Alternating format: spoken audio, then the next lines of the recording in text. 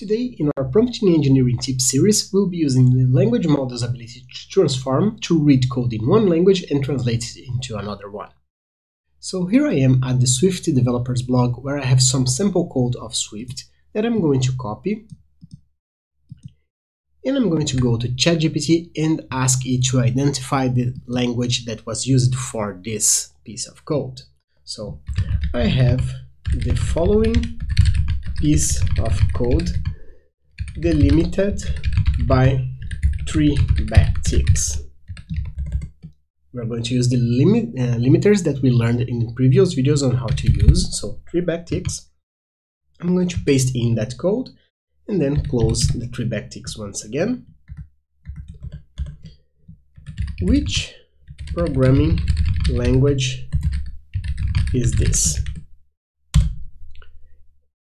As you can see, it correctly understood it is written in Swift, which is a programming language developed by Apple and used on iOS, macOS, and watchOS and tvOS platforms. Now we're going, we're going to ask ChatGPT to generate this exact same code in another language. So I'm going just to write your task. Then, by the way, giving it a task is also something that we saw in previous videos. So is to rewrite the code above as JavaScript. Please rewrite it with comments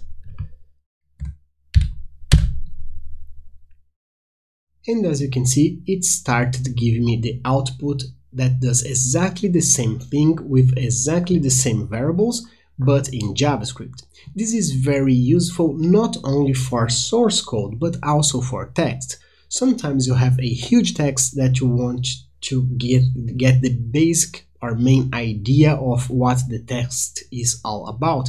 And ChatGPT or any other language model AI can understand what it is about and give you a resumed version so you can take decisions on those. So if you found this video helpful, please click the like button and consider subscribing to the channel so it can help us grow. Also, share this link with a friend and they can learn something too.